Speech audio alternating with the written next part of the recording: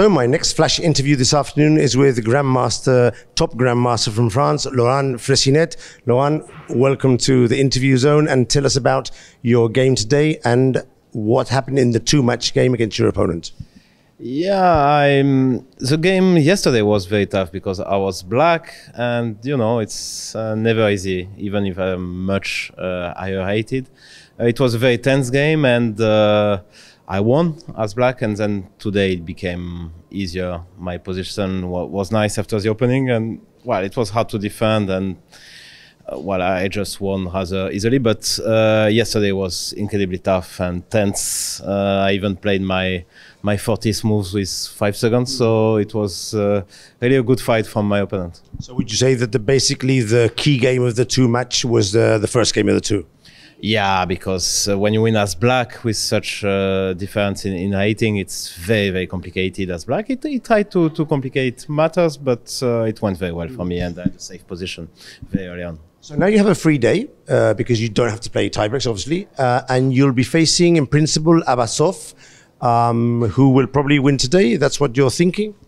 Yeah, I won yesterday, and uh, today it looked uh, winning. So I guess uh, I will face Abasov. So both of you have a free day. Have you prepared uh, already against him, or would you prefer to go round after round and take things one one thing at a time? No, I, I did I did some some preparation uh, already uh, because okay I was hoping that I would win the, the first round, mm-hmm. so so we'll see. of course, he's a very we are very close in rating, so. I guess it's very 50 50 match. It will be interesting. And the rest of the French uh, team here, I noticed Alireza hasn't come, but uh, the rest of the guys are here. How are you? How's the team going? How are the rest of the players going uh, for this uh, first round here? I think um, Jules Moussard is about to win. Bacrot already won. So most of them, only, only Lagarde. Lagarde has a tough pairing.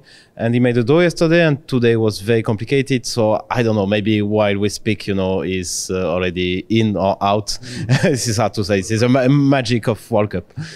Laurent, uh, my last question. Uh, you have a huge following in your uh, podcast with uh, Peter Heine and with uh, Jan Gustafsson, the Chicken Chess Club. Uh, I'm one of your, your followers as well.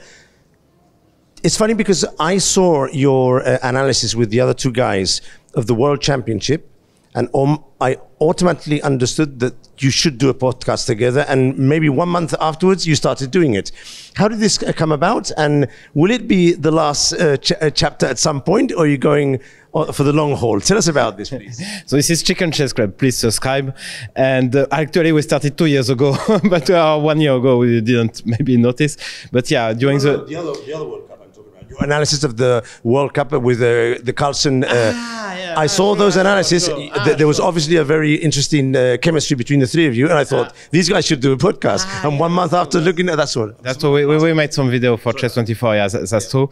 And uh, well, it was the idea of Jan uh, Gustafsson. We we are used to to hang out together uh, for the Magnus uh, matches. Now there is no more Magnus matches. So as trainer of the Magnus, yeah. So we are all uh, uh second of uh, Magnus doing doing matches, but now he's not uh, doing matches anymore. So.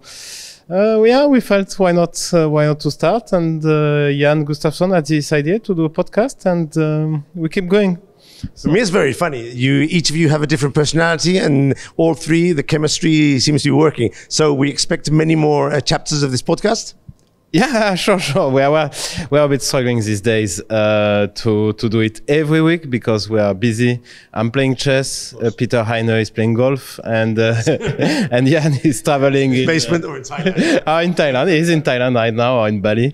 So yeah, but we will we will do more and more uh, episodes. That's for sure. Okay. Thanks for coming. Thank you. Cheers.